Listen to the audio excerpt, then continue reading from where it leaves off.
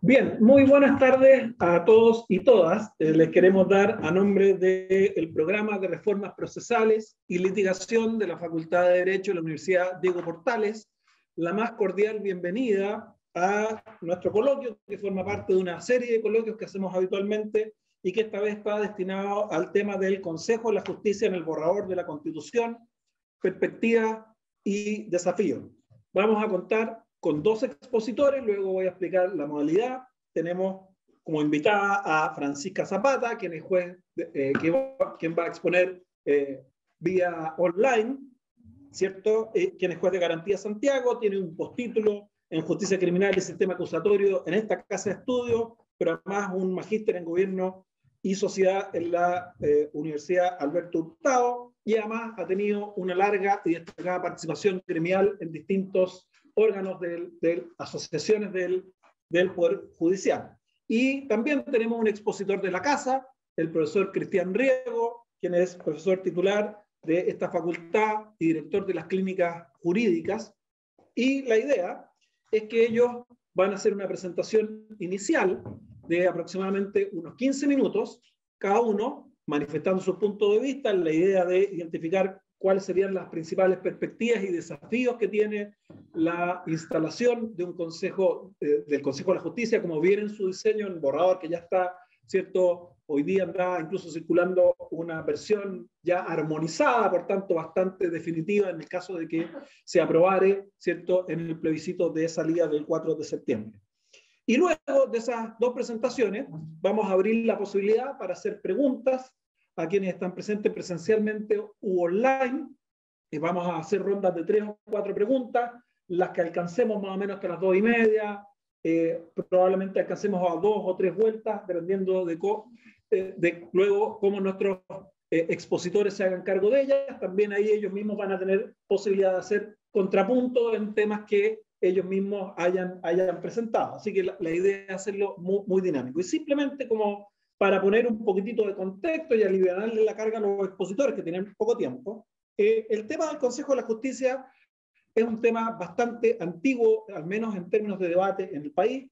Prácticamente desde el retorno a la democracia se ha venido discutiendo en la necesidad de superar algunos problemas que tenía el diseño de nuestro sistema judicial, particularmente cierto focalizado en la idea de la concentración de facultades en la Corte Suprema, no solo jurisdiccionales, sino que también de gobierno, del sistema judicial y los problemas que ello generaba en términos de independencia interna de los jueces. Este es un tema, como digo, ha estado prácticamente desde el retorno a la democracia puesto sobre la mesa. De hecho, si recordarán, la primera gran reforma judicial del retorno a la democracia fue un paquete de reformas que presentó el presidente Elwin, que incluían la creación de un, de un Consejo de la Justicia. Por distintas razones, ¿cierto? Esto no avanzó y la discusión de la nueva constitución puso sobre la mesa eh, la idea del Consejo de la Justicia como cierto una reforma para superar este diagnóstico con el cual creo yo hay bastante consenso eh, desde hace eh, mucho tiempo y coincidía con propuestas que, por ejemplo, habían venido desde hace algún tiempo de las propias asociaciones de magistrados. El debate en, este proceso constituyente ha estado probablemente muy fuertemente focalizado y, eventualmente vamos a, algo de esto se puede reproducir, no, no, no sé qué van a poner ¿cierto? nuestros presentadores.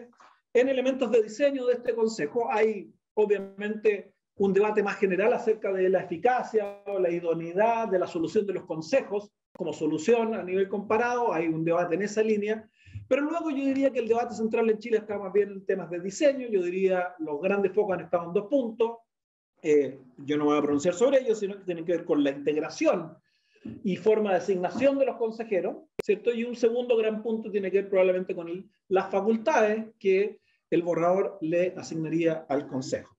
Así que, eh, eh, obviamente, el, el, proyecto de reforma no define el detalle de todas estas cuestiones y una parte significativa de cómo operaría queda entregado al desarrollo de una ley que regule esto con posterioridad y hoy día sabemos por normas transitorias que los plazos que se tendrían para eso son un poco más amplios que los que se hablaban originalmente.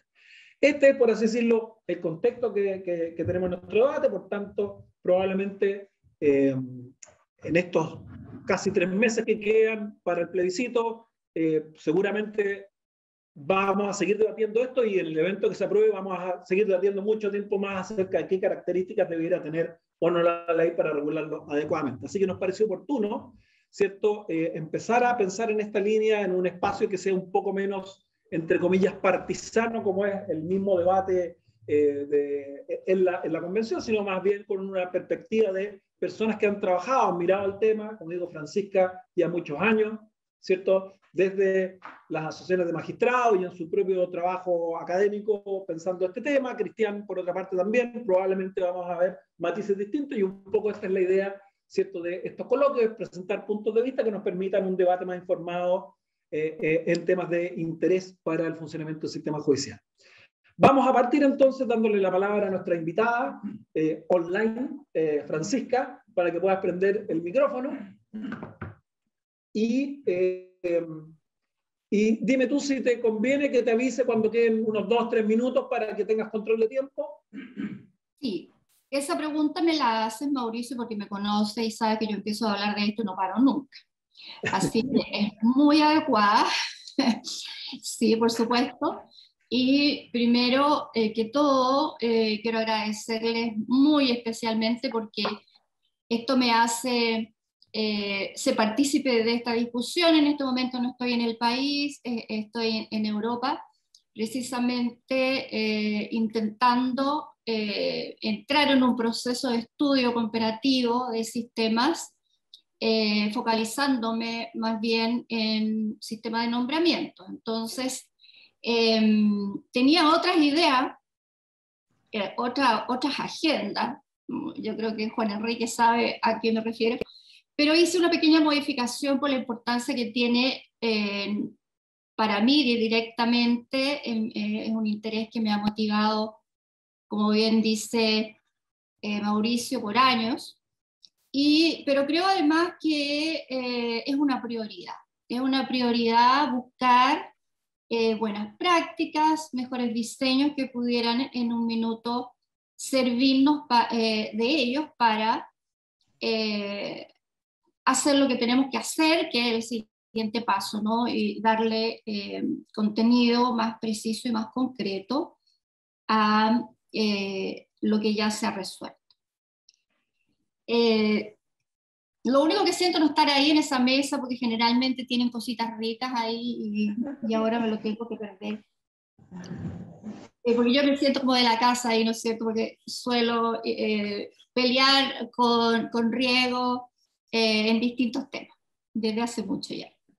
Pero ahora no vamos a pelear, yo creo que hay algunos acuerdos y en algunos otros eh, materias probablemente no vamos a estar de acuerdo, pero yo ya no soy la jovencita de hace 30 años que eh, estaba tan apasionada por estos temas. Sigo apasionada con estos temas, pero con un poco más de moderación, diría uno, lo que siempre fue. Bien, yendo al punto, eh, directamente al Consejo de la Justicia, eh, bueno, todos ustedes saben probablemente más enterados que yo de primera mano, que estoy lejos, eh, de la discusión que se está dando y de lo que yo he escuchado, ¿cierto? Hay algunas aprensiones en términos de la composición y las funciones. Eh, efectivamente, eh, en algún momento eh, del desarrollo de pensamiento que yo tuve y de estudio que tuve respecto de las características de que debería tener un órgano que separara las funciones, en algún momento estuve bien lejos de la idea de un consejo de la magistratura en modo continental estuve mucho más cerca de la idea de un modelo más bien anglosajón. En algún momento estudié justicia federal, en la conferencia judicial americana, que daba eh, muchas muestras de, ser muy eficiente y muy técnica. Pero eh, hoy día tenemos este Consejo de la Justicia que, claro, uno un poco por por historia, ¿no? Por, eh, porque somos parte del modelo continental. Decimos que eh, está en la línea de los eh, consejos de la judicatura que han venido teniendo desde hace mucho tiempo eh, mala prensa, mala fama, ¿no? Eh, en términos de sus resultados y su politización y la erosión de la independencia por otra vía. Eh, pero yo quiero pensar más bien que esta es una oportunidad para recoger las mejores prácticas que sean posibles de eh, replicarse en, dentro de los marcos que ya se ha determinado en el borrador de la Constitución.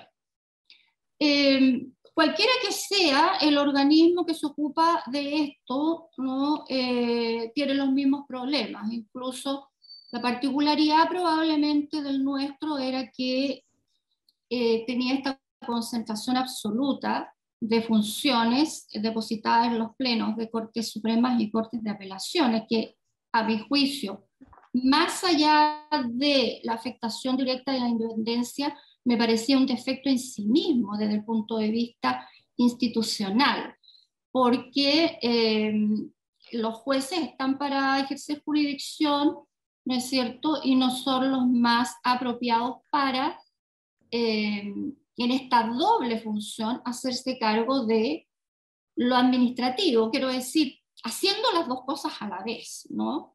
Eh, porque ninguna de las dos hace bien y eh, la que pierde más, pues, por supuesto, es la, la función jurisdiccional, sobre todo en el máximo tribunal. Dicho eso, eh, yo creo que todos tenemos a manos eh, las características del Consejo, pero a mí, yo me voy a detener porque adelantándome, me, habría gustado que fuera un poco al revés, no que partiera Cristian, pero adelantando lo que yo he leído por ahí con las redes sociales en términos de la posible, el riesgo de politización, eh, efectivamente eso es un riesgo eh, existente en, todos los países y en todos los modelos, lo que eh, nos conduce entonces a eh, tomar como meta en esto reducir ese riesgo. No creo que sea posible realmente eliminarlo.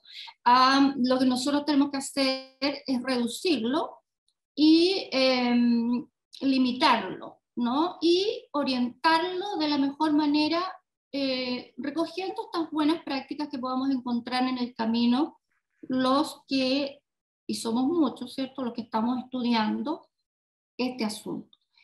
De la descripción del Consejo de la, Justicia como autónomo, eh, técnico paritario plurinacional, yo eh, me voy a detener en el de técnico.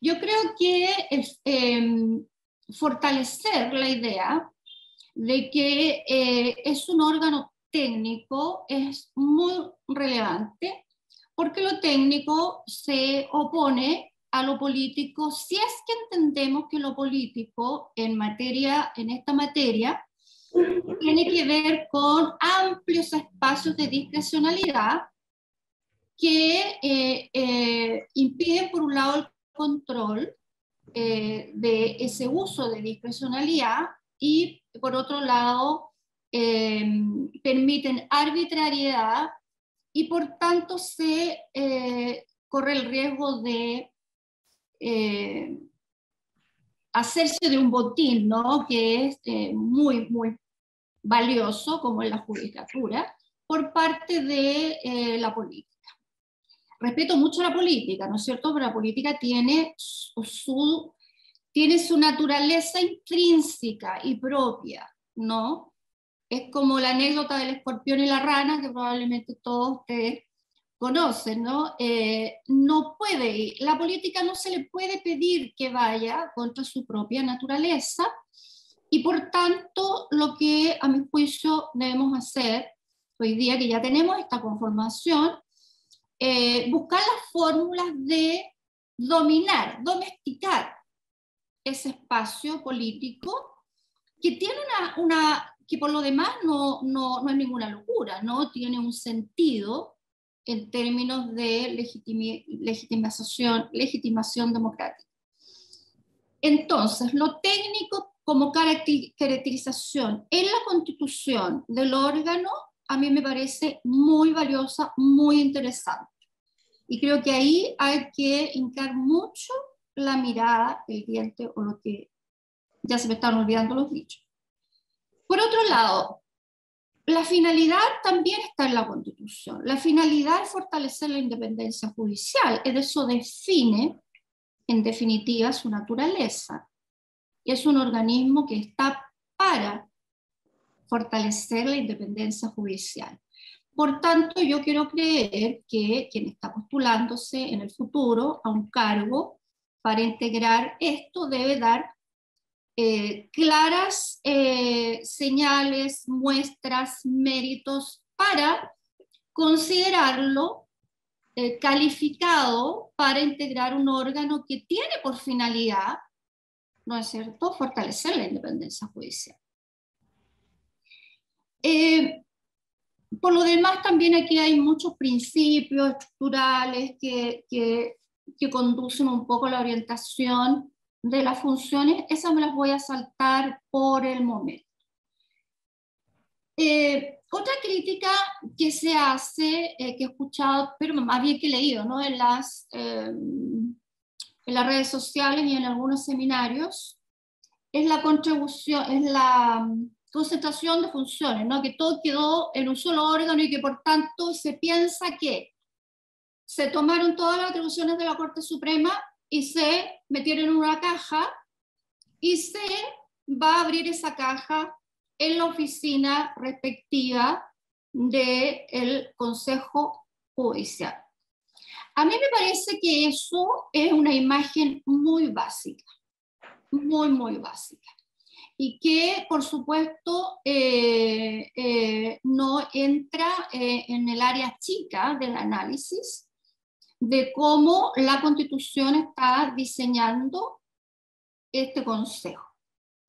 En primer lugar, si se tratara de meter en una caja todas las funciones que tenía la Corte Suprema y abrir esa caja en, el, en la oficina del nuevo Consejo, ¿qué haríamos entonces con todas las regulaciones que eh, que existen en la propia Constitución a propósito de este Consejo. Regulaciones que no existían en el caso del gobierno judicial en manos de la Corte Suprema. La Corte Suprema tenía el gobierno judicial eh, en sus manos fuera de toda regulación en términos de, eh, en los términos al menos en lo que viene regulado hoy que las regulaciones que tenían eran más bien de administrativas, de, orden, ¿no? pero no tenía ciertos estándares que debiera cumplir en el ejercicio de las facultades de gobierno judicial y yo veo revisando esto, revisando el borrador, que acá eso hace una gran diferencia. Eh, desde luego, las atribuciones del Consejo, pero me voy a ir a la composición, que es un, es, un asunto problemático. Después vamos con la atribución. Tres minutos, Francisca. Estupendo. Eh, composición, 17 integrantes, ¿cierto? 8 jueces titulares eh, y dos funcionarios. La verdad que todavía no me explico muy bien porque tiene que haber dos funcionarios y que me perdonen mi queridísimo amigo administrador y presidente de los administradores, eh, realmente considero que no tiene un sentido eh, legal constitucional o de teoría política, social o jurídica de ningún tipo. Esta fue una ganancia gremial que en algún momento se obtuvo por parte de el trabajo de esas asociaciones, pero me parece que sin una comprensión de lo que estaba realmente llamado a cumplir el Consejo. Respecto de los cinco miembros ¿no? Eh, que, constituye eh, la base del problema de la politización, me parece que la forma que se ha determinado eh, en que sean elegidos junto con la finalidad, ¿no? que va a orientar desde luego la eh, la letra más chica, ¿no? los requerimientos que se van a tener para los postulantes, los interesados. Estos cinco elegidos por el Congreso, eh, me parece que sí, van a ser elegidos de una terna en que se ha producido un concurso público que ha estado en manos de la alta dirección pública, eh, en que se exigen, ¿no es cierto?, 10 años de experiencia profesional y que se va a, por supuesto, sumar una serie de requisitos para la posibilidad de demostrar los méritos y que cualifica, ¿no? Es cualificado para cumplir la finalidad, me parece que ese espacio que todavía no está acá necesariamente eh, es un espacio que tiene que cumplir una tarea que, tiene que cumplir la ley y que no veo por qué no la vaya a cumplir en términos eh, que en este punto cabe ser estrictamente técnico. En dos palabras para terminar.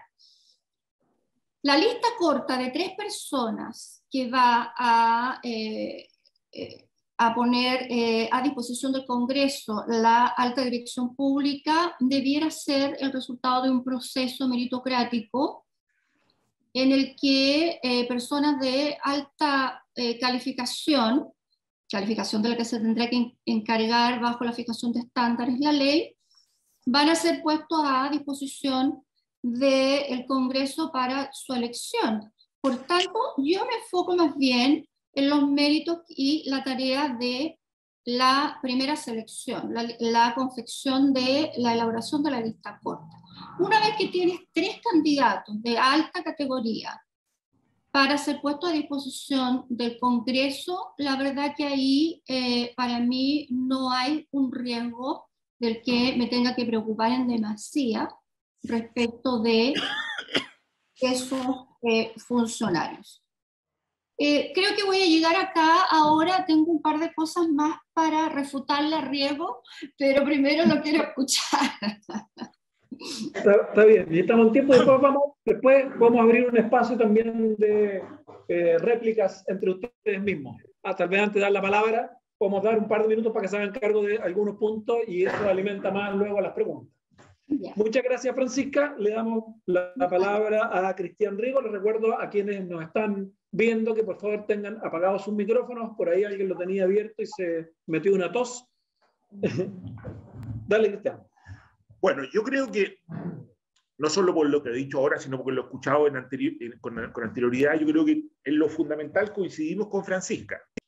Ambos tenemos una mala evaluación del sistema actual, eh, por una serie de razones que no vale la pena explicitar ahora, pero que van a ir saliendo. Y ambos creemos que se requiere un nuevo sistema yo diría que tendría dos o tres características.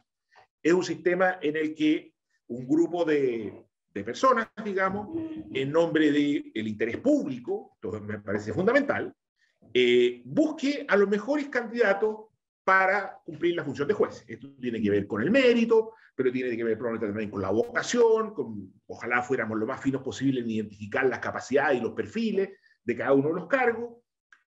Eh, y por lo tanto, a esto es lo que yo entiendo que Francisca se refiere cuando dice técnico, ¿cierto? O sea, aquí se trata de buscar realmente los mejores candidatos para cumplir una función profesional altamente compleja.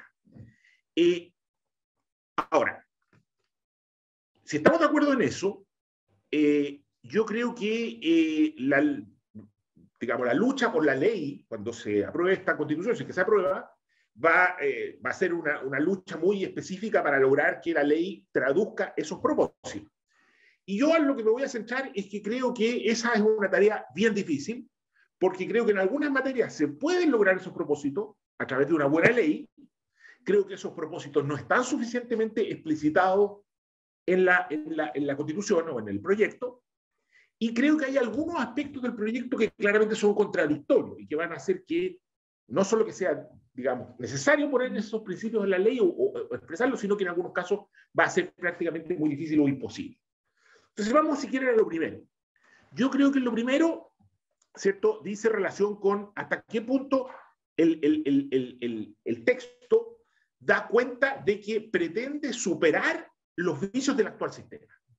Que yo creo que estamos de acuerdo con Francisca, tienen que ver con en que el sistema de designación, pero no solo de designación, sino los sistemas de gestión y los sistemas también de, de, ¿cómo se llama?, de, de sanción, son altamente discrecionales en su estructura. O sea, no hay parámetros claros, digamos, eh, de cuáles son los criterios para designar un juez, qué es lo que se busca cuando se busca designar un juez, sino que básicamente es que ha entregado la opinión de cada uno de los que designan, sea los ministros de corte o al presidente de la República o al Senado, digamos.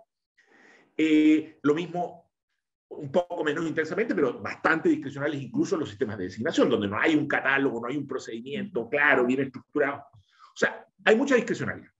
Y lo segundo es que esa discrecionalidad en nuestra práctica se ha llenado con prácticas aún más malas, digamos, porque la discrecionalidad se puede llenar con distintas prácticas. Y muchas de esas prácticas, yo diría que son prácticas que están vinculadas a, digámoslo así, a el usar esos mecanismos, yo diría, con intereses que no son el interés público de buscar a los mejores jueces, o promover a los mejores jueces, o estimular a los mejores jueces, o sancionar a aquellos que han, digamos, vulnerado las reglas de, desde, una perspectiva de la protección de los valores del sistema. En este sistema discrecional se han crecientemente colado, yo creo que estamos hoy día prácticamente en una crisis de legitimidad del sistema, porque se han colado todo tipo de intereses, en algunos casos privados, en otros casos sectoriales, en otros casos políticos, ¿cierto? que han distorsionado el interés público. O sea, hoy día hay quienes comparecen a este procedimiento que tienen facultad y que buscan poner a jueces políticamente cercanos, no a los mejores. Hay otros que buscan poner a sus amigos, a los que le deben favores, a los que les caen bien, a los que pertenecen a su grupo, a quienes el día de mañana los van a promover, promover de vuelta. Esto también es muy generalizado. Y probablemente hay otros que, digamos, eh, eh, que yo creo que están muy fuertes hoy día también, que están promoviendo otro tipo de intereses profesionales. Estudios de abogados, que tienen amigos que hacen campaña, digamos, eh, notarios que, son además, que tienen enorme cantidad de recursos para eh, reclutar jueces para que luego los, protejan en el desempeño de su función y además promover a que, y hay verdaderos notarios que son como lobistas de, carreras judiciales eh, o, o, auspician lobistas de carreras judiciales, o sea, un, una especie de entre privatización de la función de designación y de control o el, el, colamiento de otros intereses, gremiales, políticos, partidistas, grupales o de otros tipos. uno diría, si el sistema quería salirse de acá, debió haberlo dicho con más claridad. Eh, no solo en términos de decirlo explícitamente, cierto que dice que es técnico, también dice que las resoluciones tendrán que ser fundadas, pero yo creo que habría tenido que ser mucho más explícito. O sea, habría tenido que decir que este consejo en realidad lo que debe hacer es administrar sistemas objetivos, profesionales, transparentes, que tienen el propósito de interés público de buscar a los mejores jueces y ningún otro. Como dice, y que cualquier otro interés es ilícito y debiera estar severamente restringido. Eso no lo dice la Constitución. Ahora no podría decir, yo creo que es muy importante que lo diga, porque en el actual contexto cultural, si nosotros este texto se lo entregamos a los operadores, sabemos lo que van a hacer van a hacer lo mismo que han venido haciendo, y yo diría profundizando, durante los últimos años, ¿cierto? Los lobistas, los, los campañeros, ¿cierto? Los, los, los políticos acostumbrados a promover van a seguirlo haciendo. Y por lo tanto, si quisiéramos un cambio, tendríamos que ser mucho más explícitos.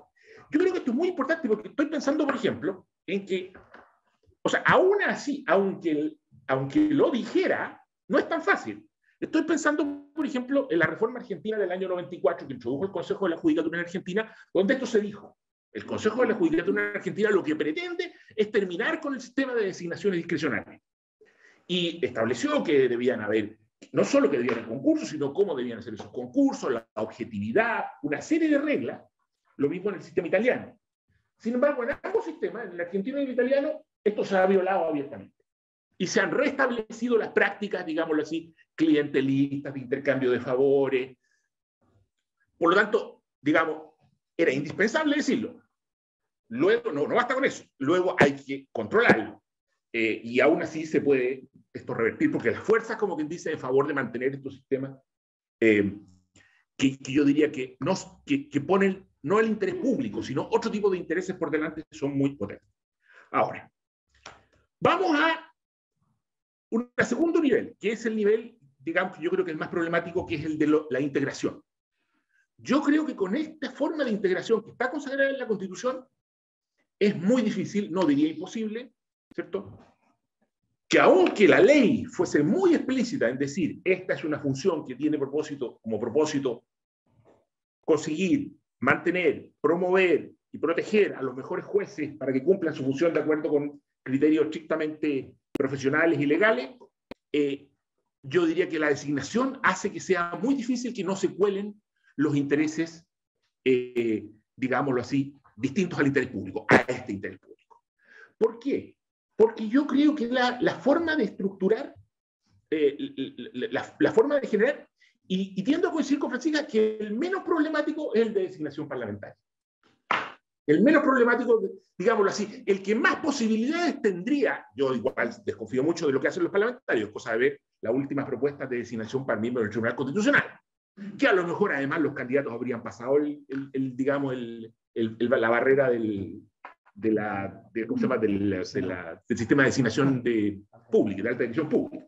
Pero yo creo que el Senado, digamos, la Cámara de Diputados a lo mejor podría, como dice Francisco, una visión optimista, llegar a tener personas que fueran allí dispuestas a cumplir la función, digamos, desde el punto de vista de eh, un interés público, como el que he mencionado. Pero veamos los otros. Tal, en esto coincidimos con Francisca. En el caso de los empleados judiciales, eh, es claro, eh, no tendría por qué pedirle a uno que cumpliera la función de la pública. Si me dicen, oye, el representante de un gremio va a ir a cumplir una función, es obvio que todo el mundo va a esperar que vaya en representación de ese gremio y que espere, digamos, hacer valer los intereses de ese gremio. ¿Cómo, en qué se van a traducir los intereses de ese gremio en la designación de jueces?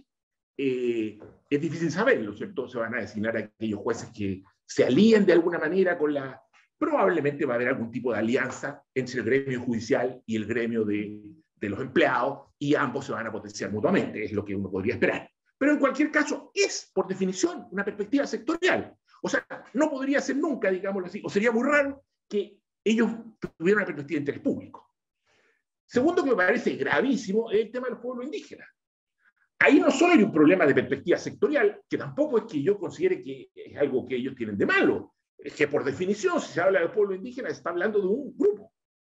Pero además hay una, yo diría, una ultra sobre representación, porque los pueblos indígenas tienen su propio sistema de justicia para los casos, para aquellos asuntos en los cuales, digamos, se espera que se resuelvan los casos de acuerdo con una perspectiva distinta, pero se supone que los miembros de los pueblos indígenas, eh, precisamente, va a haber algunos aspectos en los cuales en los cuales vamos a ser iguales, como dice, en los cuales, en los cuales vamos a estar todos juntos. En algunas cosas van a estar separados, en algunas cosas van a estar... Uno habría esperado que en aquello que estemos todos juntos, el interés para designar jueces también fuese un interés común, digamos.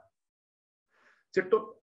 Entonces, eh, eh, además, los pueblos indígenas están ya representados por los escaños reservados en los, que van a participar en, la designación de los representantes del Congreso. Yo creo que no, no tiene ninguna justificación que se lo agregue aquí. Pero lo grave, lo más grave que tiene esto es que de nuevo estamos instalando un grupo que tiene una perspectiva sectorial. Y evidentemente los que elijan, que serán, supongo, de alguna manera las organizaciones del pueblo, del pueblo indígena, van a esperar que sus representantes vayan al Consejo de la Judicatura a hacer valer un interés particular. En el caso chileno creo que es gravísimo, me imagino nomás qué va a ocurrir con los jueces penales de la, eh, de la macroregión sur, ya sea aquellos jueces penales que les toca ver casos en que las mapuches han sido víctimas de, distintos abusos y atentados, o de que están imputados, miembros de los movimientos mapuches, como eh, sospechosos, digamos, de, de, haber cometido algún, algún acto ilícito, ¿cierto? Lo que todo, yo creo que lo que razonablemente van a esperar los representantes de los pueblos mapuches, que por lo demás siempre han cuestionado a los actores judiciales, ¿cierto? fiscales, jueces, ¿cierto? siempre lo han cuestionado, incluso los, no solo los grupos violentos, sino incluso los grupos digámoslo así, no violento, también han cuestionado sistemáticamente a, aquellos que han condenado, digamos, por ejemplo, o no han sancionado. Entonces, los, los jueces de la macroregión sur van a tener claro que cuando les toque ir o a ser designados, promovidos, evaluados, sancionados, o, esta, o esta, este, este examen de cada cinco años, esta evaluación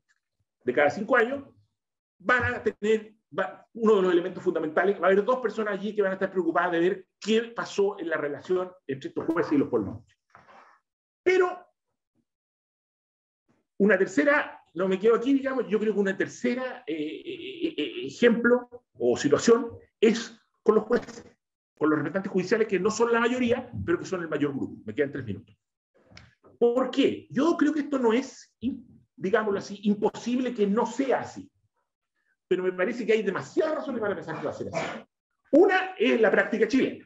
Los jueces chilenos, no todos por supuesto, pero han participado activamente, digámoslo así, en el lobby, en los intercambios de favores, en las besamanos, digamos, y hay una verdadera cultura de designaciones en la que los jueces han participado, pero no solo la asociación de magistrados, las veces que le ha tocado asignar a alguien, usan los mismos métodos, pocas veces, pero lo usan.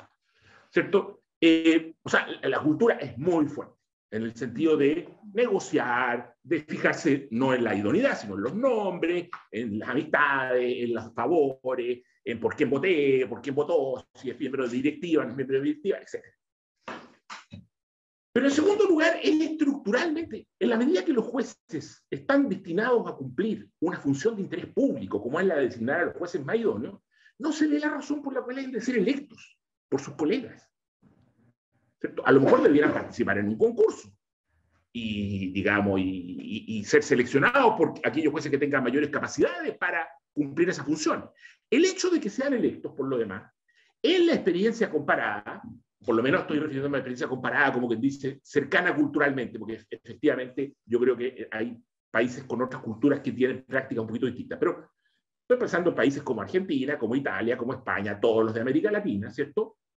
Lo que ocurre es que los jueces electos entienden que lo que van a hacer al Consejo es a defender los intereses de sus electores, o sea, a promover las carreras de aquellos que votaron por ellos y a evitar que sean sancionados objeto de cualquier tipo de abuso.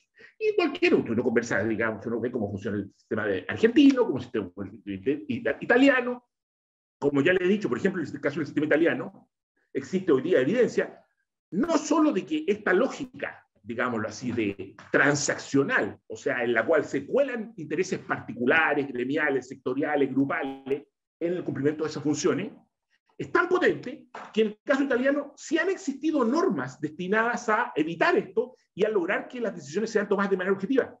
Sin embargo, la Asociación de Magistrados Italiana ha roto con esas normas. Hoy día hay una serie de investigaciones que muestran cómo se terminaban codeando y los dirigentes terminaban haciendo que sus dirigidos fueran elegidos con presidencia de las reglas. Lo mismo ocurre en Argentina.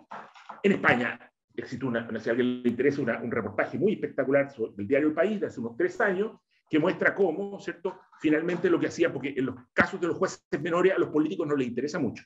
Estamos hablando de los jueces que no son de las grandes cortes. Entonces lo que hacían es se reunían los dirigentes de las distintas asociaciones, hay una de izquierda en España, una de, como de ultraderecha y una de, de derecha, como del Partido Popular. Se reunían, cada uno venía con una lista, que normalmente tenía que ver con la lista de los que más habían contribuido a la campaña de cada uno de su grupo, y como, como fichas, digamos, la usaban como fichas de intercambio iban designando de acuerdo con las prioridades de cada una de las listas, hasta que se completaba el número de jueces que se requería designar. Yo creo que esta perspectiva, ¿cierto? que distorsiona totalmente y que, porque, y con esto termino, porque la amenaza política es cierto que es probablemente la más potente, pero la amenaza política no es permanente. A los políticos no les interesan las designaciones de los jueces, no sé, de familia le interesan sobre todo los, los, tribunales superiores. Esta otra perspectiva, que es como quien dice una especie de perspectiva de intereses particulares, gremiales, atención, profesionales, porque los abogados participan de esto activamente.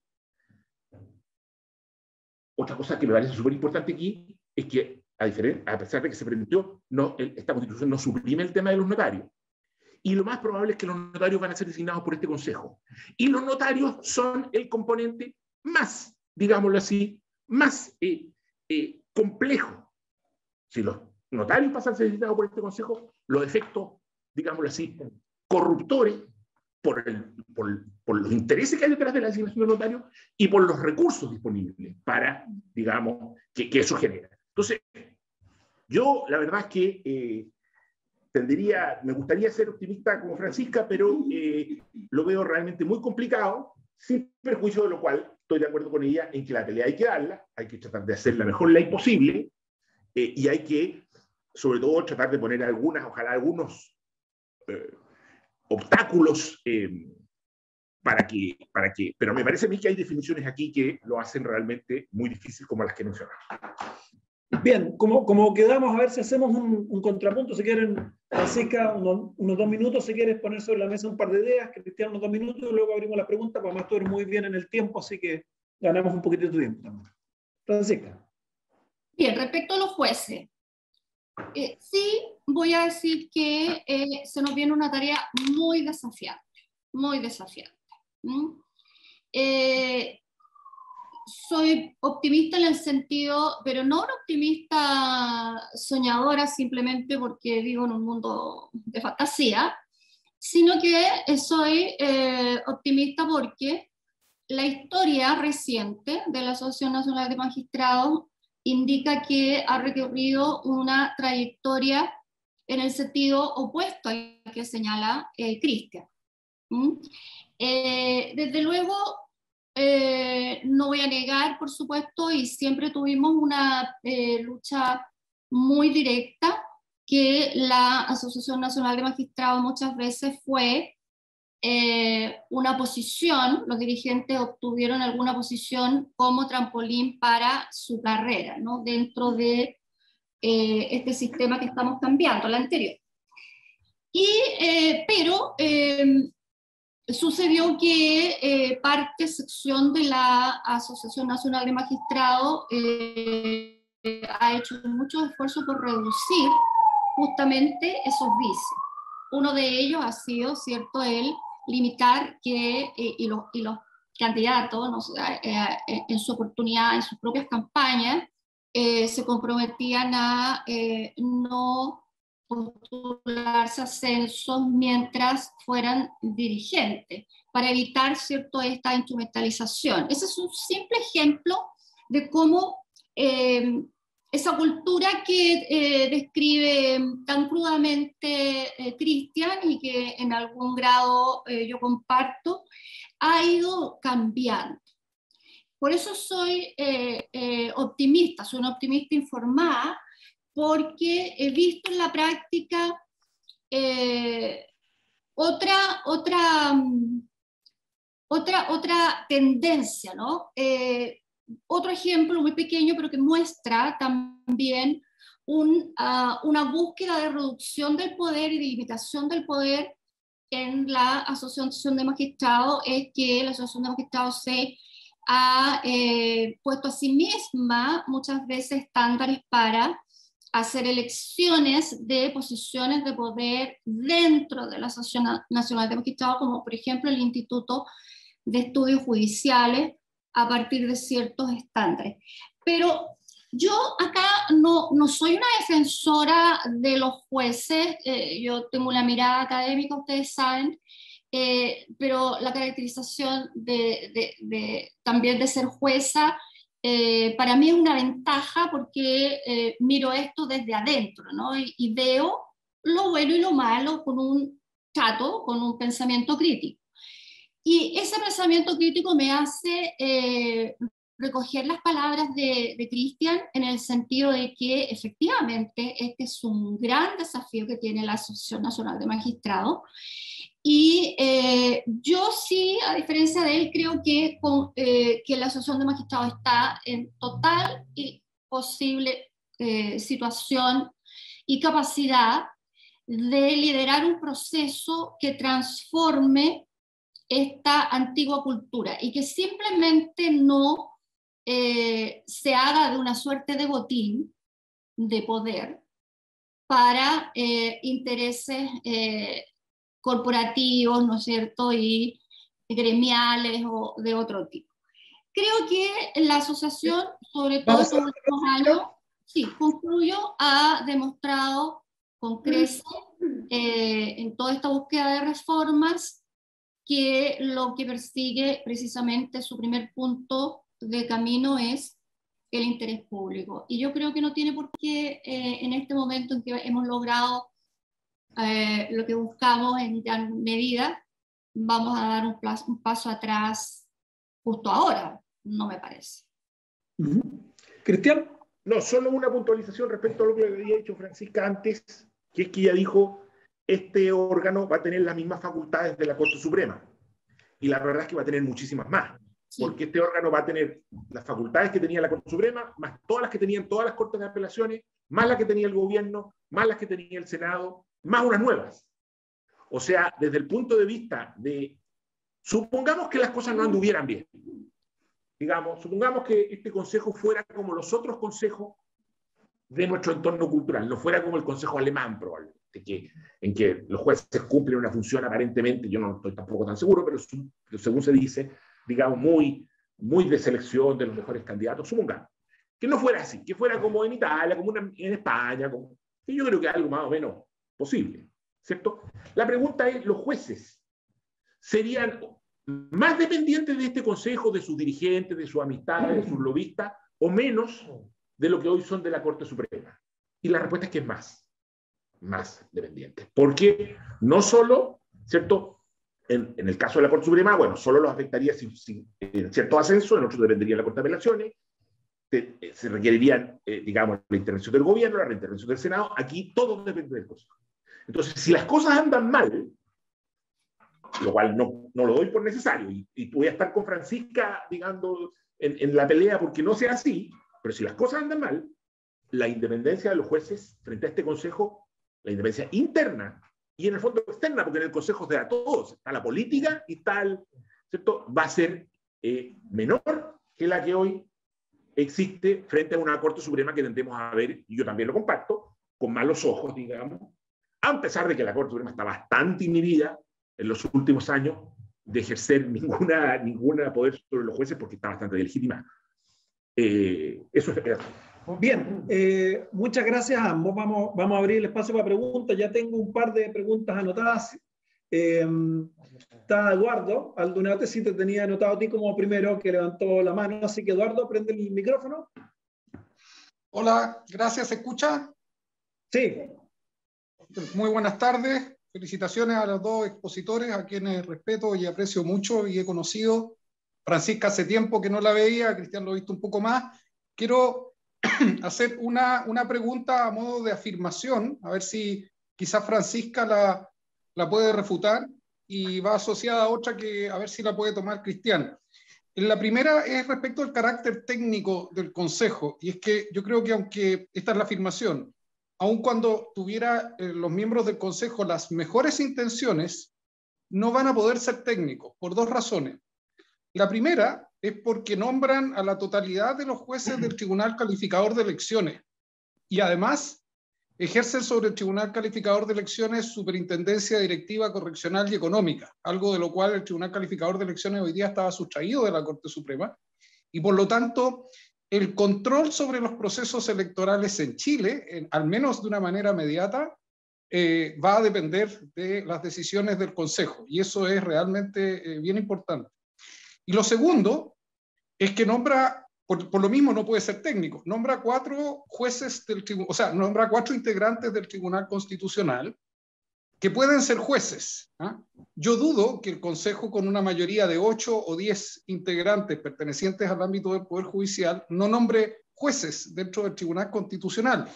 Alguien podría decir, mire, esto es un poquito más que lo que nombra hoy día la Corte Suprema, pero no es así porque resulta que los jueces, ya sea los que están nombrados al interior del tribunal o los que son nombrados como jueces por el, por el Consejo, son los únicos que tienen o que pueden abrir la puerta para que una ley sea declarada inconstitucional por la vía de la inaplicabilidad. Entonces, por estas dos vías, el Consejo necesariamente adquiere una politicidad. Yo creo que ahí la Constitución es media traidora, porque también dice que, la Corte Constitucional, perdón, la Corte Constitucional es un órgano técnico.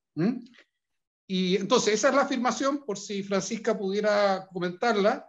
Y la segunda parte, lo último que comenté, es lo que va dirigido a Cristian. ¿Cómo ve él el hecho de que, de que los jueces, que son todos nombrados por el Consejo, son los que ahora van a tener en sus manos la llave del contencioso constitucional contra leyes. Gracias. Bien, tengo a Claudio Fuentes aquí en vivo. Sí, bueno, también agradezco las presentaciones. Tengo una misma pregunta para, para Cristian y para la magistrado. Eh, sobre todo a propósito de algo que dijo la magistrado, de que, sé que la entendí bien, pero me puede corregir es que no. Eh, hoy, día, hoy día hay una una especie de, de, reglas que antes no existían para las atribuciones de este nuevo consejo. Y la que a mí más me tiene preocupado es esta cosa, no tengo otra palabra como llamarlo como cosa, de la revisión integral. Es decir, este es un concepto nuevo que no es parte, o sea, el único concepto de revisión integral que existe es de la Corte Interamericana que tiene que ver con el derecho a recurrir. Este es algo que se inventó ahora, que no tiene ninguna definición, sobre lo cual hasta donde yo puedo ver y he leído no hay doctrina, y que puede servir como, no sé, llamarlo un caballito de batalla, o puede servir como, alguien diría teoría las normas, una norma de textura abierta que admite múltiples interpretaciones posibles, y por lo tanto, ¿cómo ustedes visualizan en este contexto de la discusión de la futura ley ¿Qué función debería tener esta, esta idea de la revisión integral? Algunos dicen esta sería otra forma de ejercer las potestades disciplinarias, otros dicen esta sería otra forma de ejercer potestades de otra naturaleza que hoy día tenía la Corte Suprema. Eh, ¿Cómo se imaginan esto? Porque si no hay una propuesta concreta como esto lo tiene que regular la ley y queda así como está, revisión integral, puede servir para todo, por decirlo de alguna manera. A pesar de que hoy día la regla dice de que no servirá para cuestiones como es, dice algo así como que no, no, no, no tendrá como competencias sobre cuestiones jurisdiccionales o algo por el estilo, que, claro, algo por el estilo, ¿no? Entonces, eso es la pregunta. Gracias. Bien, eh, tenemos una tercera aquí. Sí, sí buenas tardes. A ver, la consulta mía es eh, referida al juzgado de policía local en este nuevo sistema de justicia donde justamente todos los anhelos que se esperaban, independiente a cómo fuera finalmente plasmado en el proyecto y cómo vaya a implementarse, el tema de la justicia policial local analizada desde todo ámbito académico, jurisdiccional, etcétera, era que la doble dependencia era un obstáculo importante en la independencia judicial y en el acceso a la justicia. Dicho eso, en el proyecto de la Constitución y tomando el análisis del profesor Riego, donde dice que hay normas contradictorias en, este sistema que muchos incluso no se van a poder ni siquiera mejorar, existe ahora un Consejo de la Justicia, donde va a ser la base organizacional del, del sistema de justicia por unidad jurisdiccional, pero quedando fuera de este sistema de justicia la justicia local, la justicia base, donde son casi 400 juzgados a lo largo de Chile, con más de 7 millones de procesos, que son los tribunales con menos jueces, pero con más cantidad de causas, y que se pretende dejar, y hoy ya se quedó fuera, porque la justicia vecinal, que se supone se va a implementar y supuestamente va a transitar esta justicia local, esta justicia vecinal, recién va a haber eh, una, un deber del presidente de la República para presentar un proyecto de justicia vecinal en cinco años. Es decir, como todos sabemos, seamos pesimistas, seamos optimistas, una justicia vecinal implementada, si es que se ocurre, no la vamos a ver más de a, menos de 15 años, porque va a estar después, ¿no es cierto?, con todo este proyecto de ley en tramitación legislativa. Por lo tanto, estamos hablando que con todos estos principios básicos de la unidad jurisdiccional del Sistema Único de Justicia, van a haber tribunales con esta gran cantidad de causas donde van a seguir dependiendo administrativamente de las municipalidades y de las cortes, no del Consejo de la Justicia. ¿Qué pasa con eso? ¿Cómo se soluciona? No hay solución. Se rompen todos los principios y se caen de sopetón, eh, porque definitivamente no se cumple, insisto, con el objetivo primero de la creación de esta uniformidad. Bien, con esto cerramos esta primera ronda. Ya eh, quienes recuerden quieran opinar, que están online, levanten la mano. Ya tengo una, a Juan Enrique te tengo anotado para la segunda, eh, así que todavía hay cupos. Y vamos a invertir el orden, vamos a invertir con Cristiana ahora y después con Francisca, y así después en la otra ronda invertimos de nuevo. Cristiano. Eh, respecto de lo que plantea Eduardo Aldunate, totalmente de acuerdo. Creo que uno de los riesgos de este consejo pero que ya empezó, digámoslo así, y que fue una de las cosas que más deterioró, creo yo, eh, al sistema que yo lo encuentro mal concebido, por supuesto nunca me gustó, pero creo que eh, está, se, se degradó especialmente porque se empezó a poblar a la Corte o al sistema de la Corte Suprema, de las Cortes Superiores, de designaciones que, digamos, hicieron que entonces que el lobby, que las lógicas políticas, que las lógicas en algunos casos económicas se, se tomaran casi una parte central de la actividad de la Corte y eso creo que yo que es muy contaminante, sobre todo para la función jurisdiccional. ¿cierto? Porque transforma a los jueces en realidad en gobernantes, digamos, que se encargan de, de entregar empleos públicos, lo cual es completamente incompatible, me parece a mí, con la preservación estricta de los valores de independencia y parcialidad, digamos, que les corresponde. Pero este riesgo no solo está presente, sino que ya está ocurriendo. Como dice Eduardo, se le encarga la designación de los jueces electorales, se le encarga la designación de los miembros de la Corte Constitucional, y yo me temo que va a seguir la lista. Por ejemplo, los notarios. No sé qué van a hacer con los notarios mientras tanto, digamos, eh, eh, y me parece que todo indica que los van a, se los van a entregar al Consejo. Eh, eso creo que va a complejizar la función del Consejo, la va a politizar en términos de que, claro, cuando hablemos de nombrar funcionarios con el impacto político que señala Eduardo, evidentemente ahí sí que los representantes del Parlamento van a estar mucho más atentos y las negociaciones, entonces, con los representantes de los jueces, que están más preocupados de otras cosas, van a ser más viables. O sea, yo, a ti le interesa que nombre ciertos jueces electorales, bueno, a mí me interesa que nombre a, digamos, a mi amigo, digamos, a mis electores en los cargos, y así es como se produce esto en los contextos comparados. Exactamente es el negocio que ocurre al interior de los consejos. Yo te vendo, yo te cedo la parte que te interesa a ti, tú, yo cedo la parte que te interesa a mí. Em, entonces yo diría que, pero además, el único caso en el cual el Consejo de la Magistratura, que yo conozco a lo menos, eh, designa a los jueces de la Corte Constitucional el caso italiano, y aparece mencionado en todas partes como una tremenda anomalía del sistema legal italiano. En todos los demás países, hay, hay unos estudios italianos que lo muestran, de ahí lo saco. No, no, hago fe en Hay, digamos, académicos italianos que lo han mostrado. En todos los demás países, los tribunales de las Cortes Constitucionales se eligen políticamente, o sea, por una mezcla entre poder ejecutivo y poder legislativo, porque además se supone que son tribunales que requieren una cierta, una cierta validez política y porque además cumplen una función política.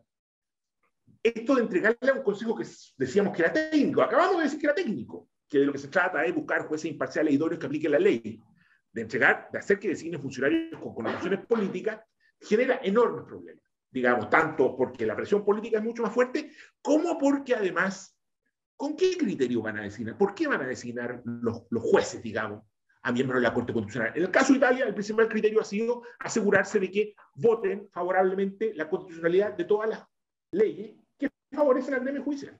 En el caso italiano hay estudios que lo muestran como el gremio judicial ha ido consiguiendo mejores sistemas de pensiones, gracias a que tiene un tercio de la Corte Constitucional, digamos. Porque además, cuando tú tienes un grupo en la Corte Constitucional que representa un cierto interés, bueno, es fácil porque puedes negociar ese solo interés en relación con los demás, ¿cierto? Eh, eh, eh, cuando alguien está preocupado de un tema fundamental, y yo creo que, yo creo que además, digamos, por lo tanto, segundo, revisión integral, eh, me parece una de las cosas más peligrosas. Yo tengo la impresión de que eso no va a funcionar, porque me parece que no, es muy difícil el Consejo llegue a tener la información para... Eh, para... Es una idea peligrosa, pero tú crees que no se va a operacionalizar. Claro, a menos que transformáramos al Consejo en un monstruo burocrático, lo cual perfectamente posible, no sé si ustedes saben, el Consejo de la Judicatura Argentina, que, que se refiere solo a los jueces federales, que son aproximadamente el 10% de los jueces de Argentina, ¿cierto? Además hay consejos provinciales, pero estamos hablando de ese consejo. Tiene mil funcionarios, mil funcionarios en aproximadamente 20 años y no deja de crecer.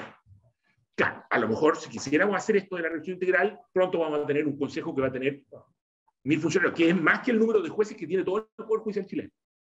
O sea, la, la, posibilidad de que esto se burocratice es infinita. Y respecto sobre los jueces de policía local, no, no tengo nada que decir específicamente porque no conozco el tema tan detalladamente, pero yo diría lo siguiente.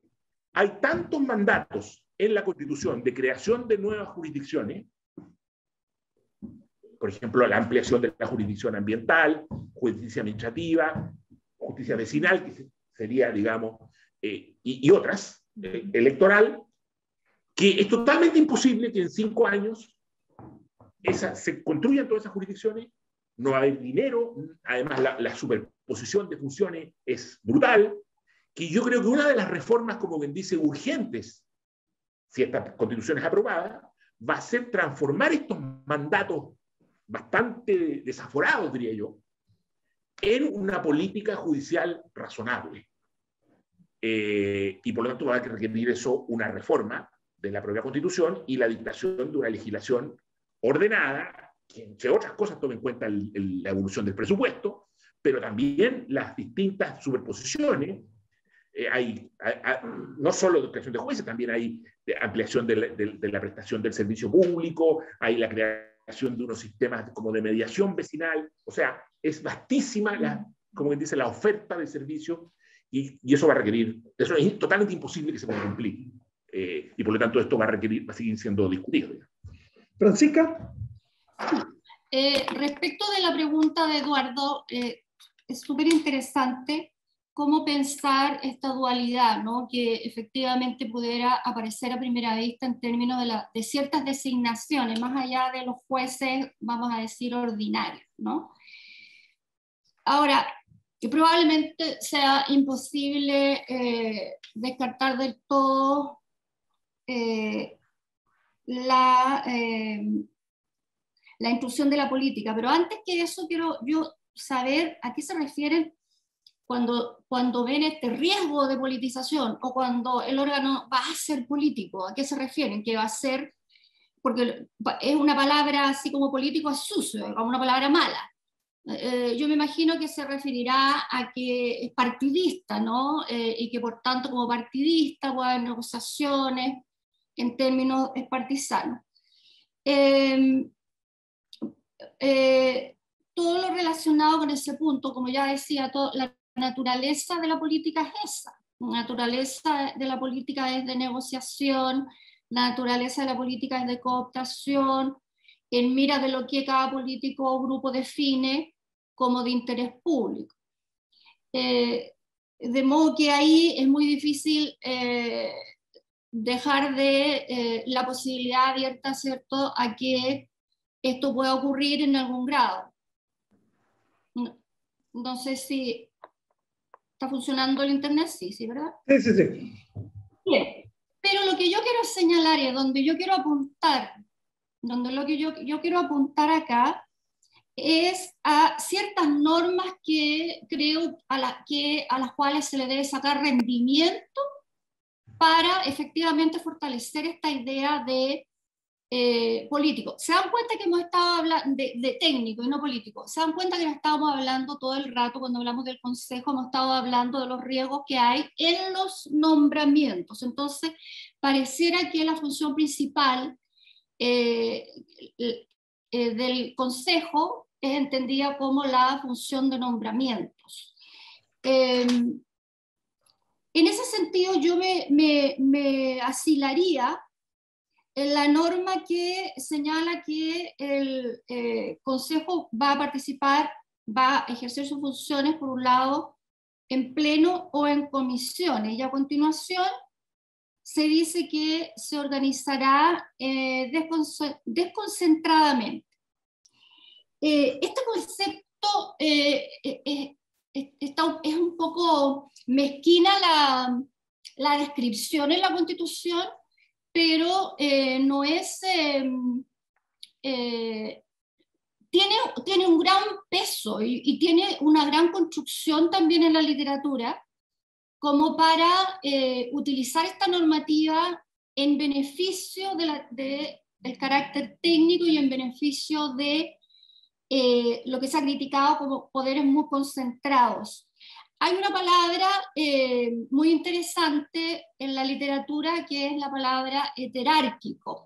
Eh, me parece que estas normas y otras que están en la Constitución, como por ejemplo aquella que se hace cargo de cómo va a funcionar, por un lado, la jurisdicción indígena con la jurisdicción, vamos a decir, ordinaria, eh, habla de coordinación en la igualdad. El concepto de eh, heterarquía es un concepto que, bueno, primero surgió en la ciencia, tiene toda una historia, no es algo que aparezca de la nada, pero que va básicamente a la siguiente idea. La mejor forma de organizar este tipo de modelos es desconcentrar funciones y coordinarlas en términos de eh, entregar distintas funciones a cada uno de estos grupos o comisiones y eh, por sobre esta tener, digamos, una una estructura amplia que podría, a mi juicio, ser entendida como la actuación del Consejo en pleno. ¿Cómo lo veo yo? Yo veo que, eh, por supuesto, debería haber comisiones. En esto a lo mejor deberíamos no dejar eh, de explorar la conferencia judicial americana en términos de cómo divide, ¿no es cierto?, el poder que tiene la conferencia judicial americana eh, para, los para, para toda la gestión de la justicia federal, cómo divide eh, sus facultades en comisiones. Me parece que es súper interesante partir pensando en el principio de desconcentración, unirlo a la idea de comisiones y en lo que se refiere a nombramientos. No hay que dejar de eh, tener presente que el nombramiento en general siempre reúne dos etapas. La primera etapa es la, la, confección de una lista corta. Ahí es donde se enfoca el contenido técnico, meritocrático, ¿cierto? Y todo lo que tiene que ver con los requerimientos de la vacante que va a estar llamada a ser eh, copada, llenada, etc.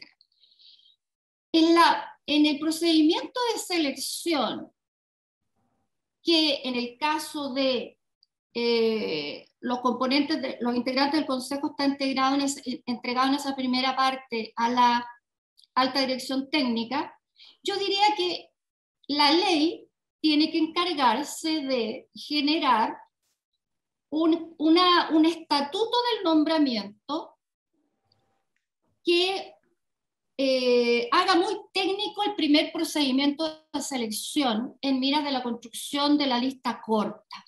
Cuando tú tienes un procedimiento de estándares y reglas claras para la selección meritocrática y transparente y competitiva en la primera etapa, te va a salir como resultado una lista corta meritocrática. Luego, que haya cierto espacio de discrecionalidad en el Pleno para hacer el nombramiento no debería preocuparnos tanto porque la primera etapa se ocupó de lo técnico. Yo creo que esa idea es esencial, trabajar la reglamentación, la configuración de estándares en la etapa de selección y la elaboración de la lista corta. Evidentemente que el Pleno ahí tiene un espacio de discrecionalidad no total, porque evidentemente la discrecionalidad que pudiera tener el Pleno para pronunciarse respecto a las personas de la lista corta también deben ser limitadas con estándares como eh, fundamentación de por qué se nombró a este y, ojo, fundamentación de por qué no se nombró a estos dos que también iban en la terna. Es un estándar súper interesante que no estamos acostumbrados a manejar, pero que ha sido determinado en alguna manera en algunos tribunales superiores eh, en los temas de gobierno.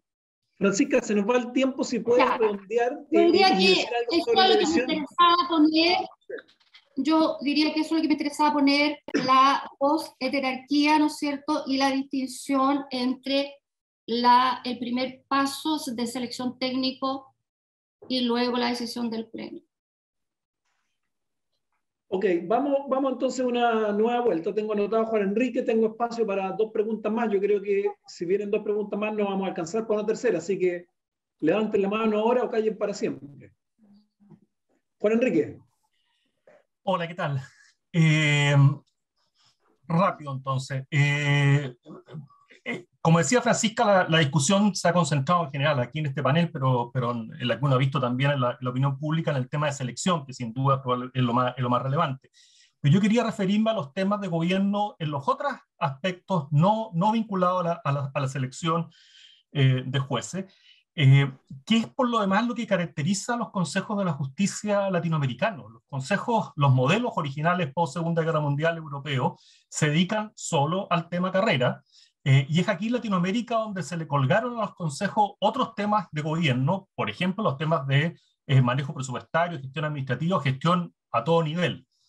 Eh, y eso ha generado problemas bien complejos en la relación entre esos consejos y los poderes judiciales. De hecho, ha habido en prácticamente todos los países, al menos todos los que yo conozco de Latinoamérica, tuve oportunidad de, de conocerlos bastante, muchos conflictos entre la Corte Suprema y los consejos, eh, conflictos de competencia. En definitiva, el que se mete en la gestión se mete en la cocina, digamos, del, del, del trabajo.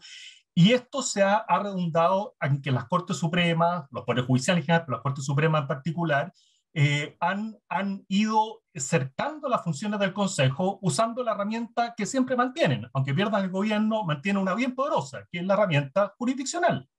Eh, ellos son los que en definitiva fallan.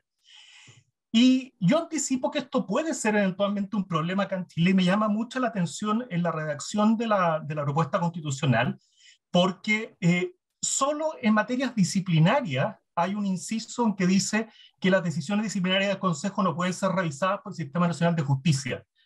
A contrario censo, si que esa norma no está en las otras materias, uno podría pensar que perfectamente podrían ser revisadas vía jurisdiccional, sobre todo si tomamos en cuenta que tenemos ahora o vamos a tener una acción de tutela mucho más amplia que eventualmente puede terminar en manos de la Corte Suprema.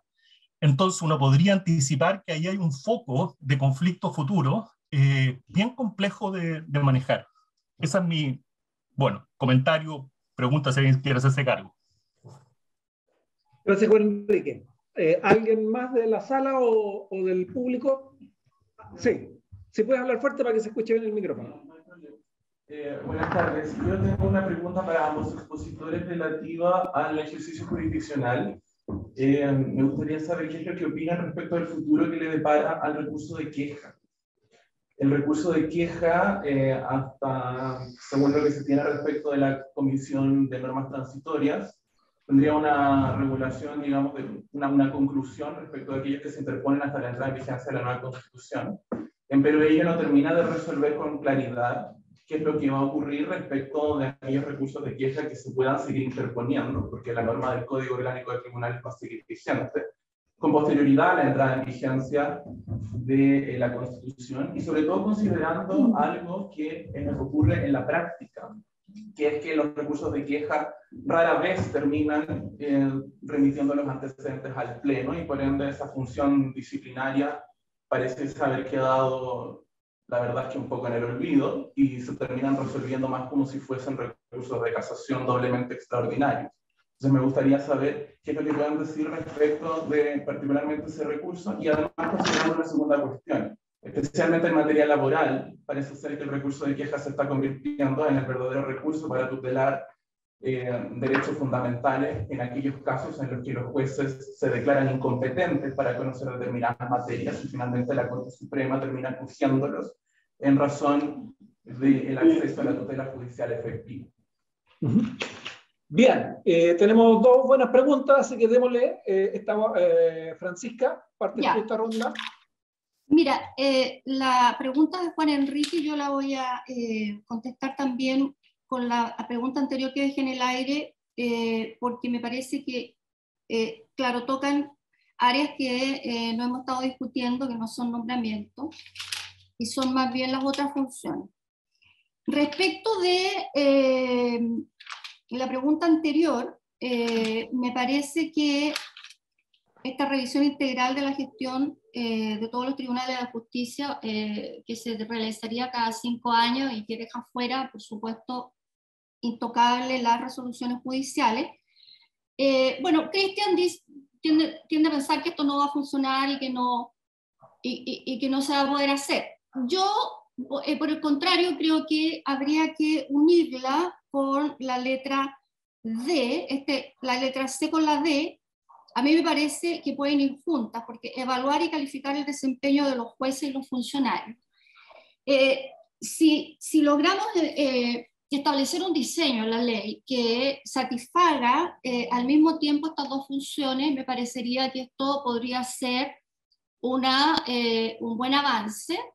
En términos de eh, la revisión de la gestión, justamente porque la gestión, la gestión es algo sumamente interesante, ¿no es cierto? Es muy importante para que funcione bien la justicia y una de las cosas es que tiene que tener una cierta uniformidad sin perjuicio de ciertos datos, a lo mejor locales o particulares. Entonces, la, la pregunta que me hacían antes en términos de cómo lo ve usted esto de tan nuevo de la revisión integral, yo lo veo como una eh, oportunidad para eh, hacer un buen diseño en términos de esta revisión integral que cada cinco años a su vez contenga eh, esta tarea de evaluar y calificar desempeño de jueces, es decir, fuera de lo netamente jurisdiccional, desde luego, eh, porque la evaluación del desempeño se refiere básicamente, y esto está descrito, ¿no es cierto?, en las cumbres judiciales y en la literatura,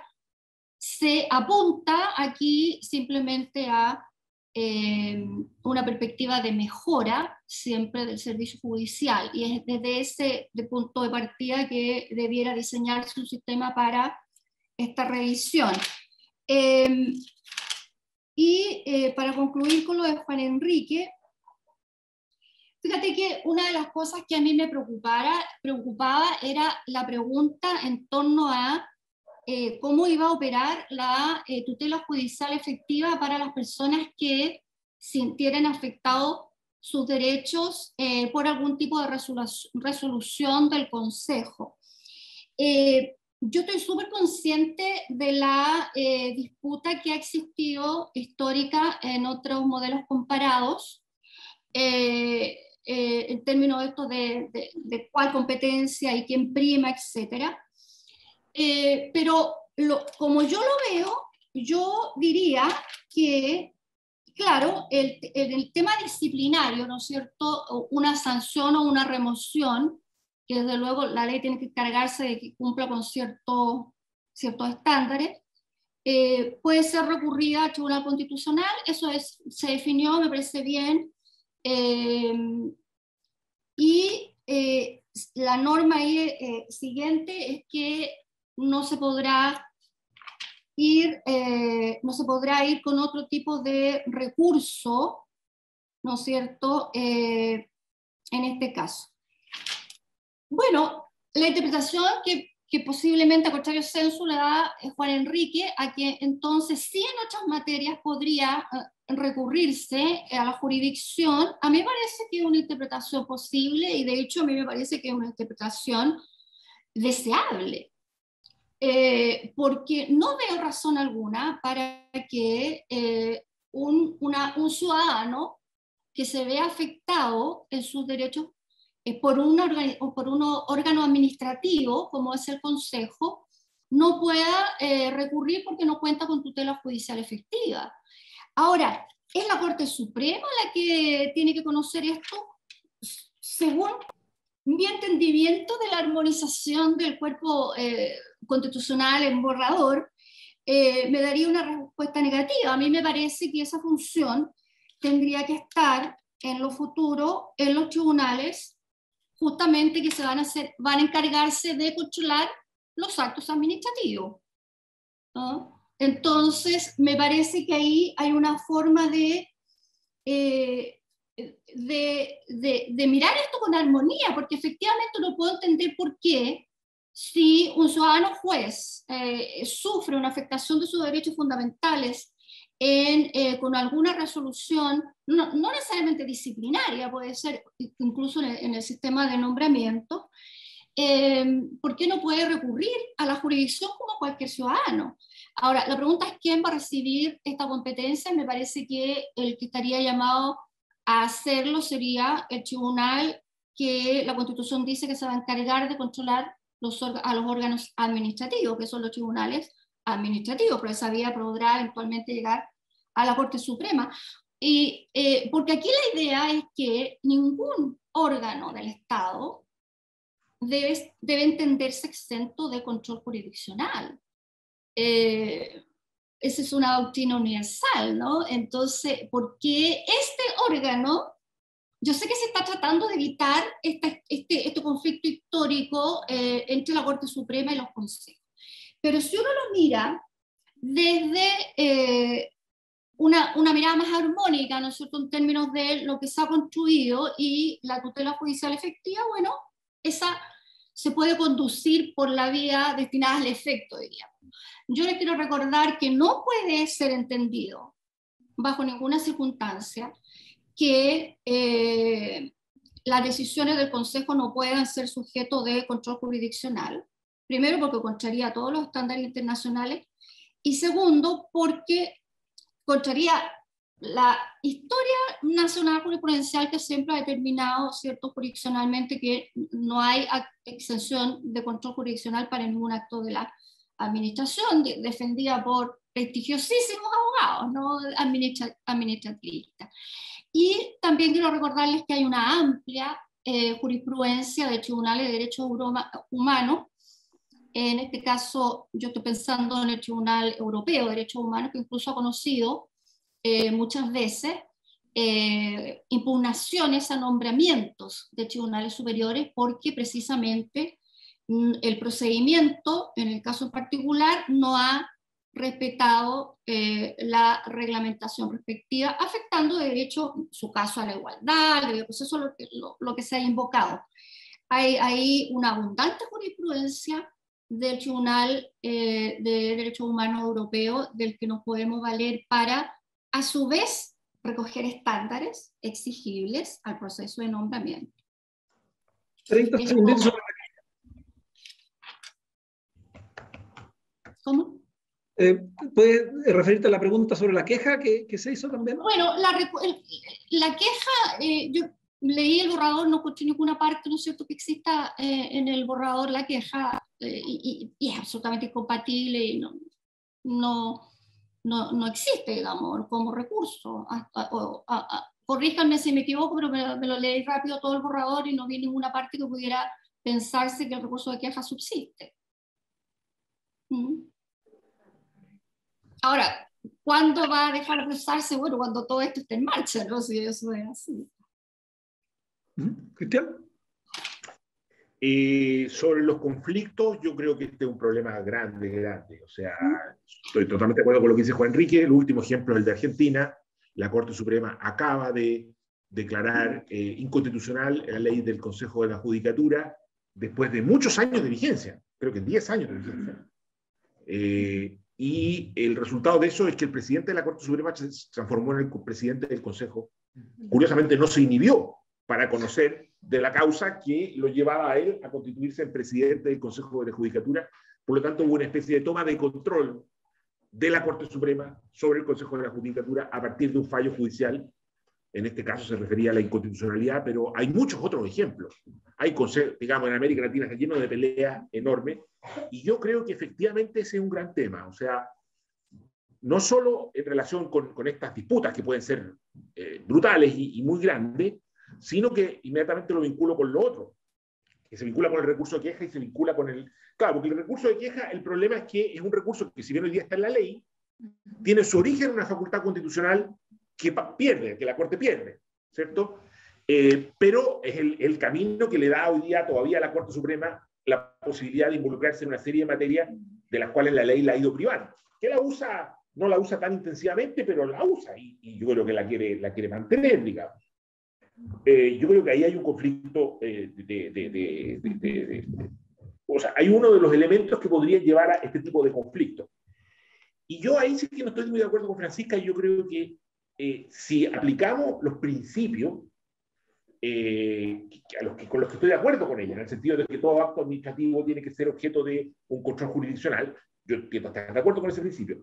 Pero si en esta materia no ponemos normas de cierre más o menos estrictas, eh, por lo que uno ve, sobre todo en el resto de América Latina, la litigación puede ser infinita. O sea, podemos tener a todos los abogados litigando, eh, o sea, estoy pensando, y con las consecuencias que eso genera. Por ejemplo, en algunos países latinoamericanos, es muy usual que las designaciones sean impugnadas.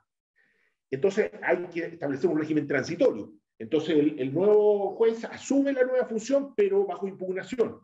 Esa impugnación demora muchos años. Entonces durante todo el tiempo intermedio, ese juez está impugnado eh, y ahí es donde empieza a producirse el problema de la independencia. Porque entonces si a ese juez le cae una causa importante, bueno, entonces empiezan a operar las impugnaciones y a lo mejor la Corte abre la audiencia. la corte que a lo mejor está influida por algún poder de algún tipo o por alguna... Entonces ese juez empieza a ver que su, caso, su caso empieza a peligrar, porque él en realidad no es titular, porque. O sea, esto se puede transformar, y de, no es que se puede transformar, en América Latina se ha transformado en una situación eh, en, que en realidad la, la, independencia y la imparcialidad de los jueces pasa a estar permanentemente en tela de juicio como producto, por ejemplo, de estos conflictos de... de, de yo creo que las designaciones, por ejemplo, probablemente a lo mejor las... Pero, pero muchas de las decisiones del, del, Consejo tendrían que ser finales, eh, porque si bien es cierto que hay un principio que, que, que, válido, eh, también, eh, también requerimos certeza, digamos sobre todo en lo que dice relación con los jueces que nos van a jugar. Requerimos, se transforman en una verdadera jueces provisorios permanentes, cuyas cargos están dependiendo de resoluciones, digamos, que al, y esto, esto puede ser un problema enorme. Bien. Eh, Perdón, sobre el recurso que tú evidentemente sabes más que yo. O sea, yo te podría dar, porque me parece que aciertas completamente la planeta que lo plantea y lo has pensado mejor, así que no te podría decir bueno, no, no, nos llegó ya la hora, estamos un poquitito de hecho pasado. Quería agradecerle a Francisca y a Cristian por su tiempo, creo que han puesto muchos temas sobre la mesa, un tema que obviamente va a haber que seguir dando vueltas y estar atentos a qué es lo que pasa en las próximas semanas también o los próximos meses con, con, con la votación. Eh, normalmente aquí les agradecemos con un aplauso virtual de ustedes y, y invitarlos a estar atentos para próximos coloquios. Este ya es como el tercero o cuarto que hemos hecho en temas eh, relevantes de justicia que viene en la nueva constitución. Hicimos uno sobre justicia y género, uno sobre eh, justicia indígena, em, acceso a la justicia, así que probablemente vienen otros también. Eh, así que invitarlos a estar atentos a nuestras convocatorias. Muchas gracias y ponemos término entonces a este coloquio.